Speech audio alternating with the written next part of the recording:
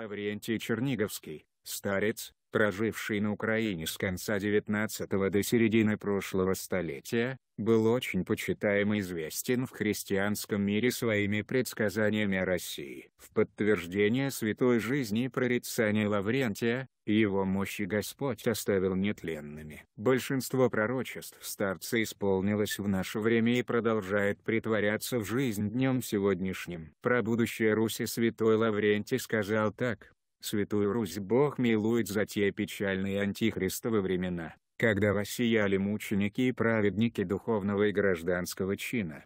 Как нельзя разделить Бога Отца от Сына и от Святого Духа, так не отделить Россию от Белоруссии и Украины.